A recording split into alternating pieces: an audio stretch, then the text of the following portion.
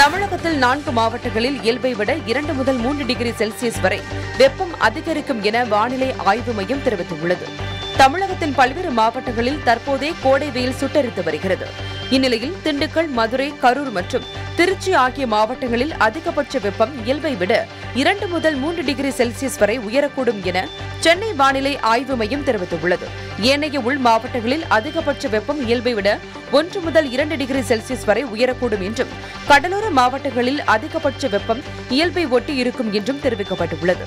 கன்னியாகுமரி திருநெல்வேலி தென்காசி கோவை மற்றும் நீலகிரி மாவட்டங்களில் இடியுடன் கூடிய லேசான மழை பெய்யக்கூடும் எனவும் வானிலை ஆய்வு மையம் தெரிவித்துள்ளது.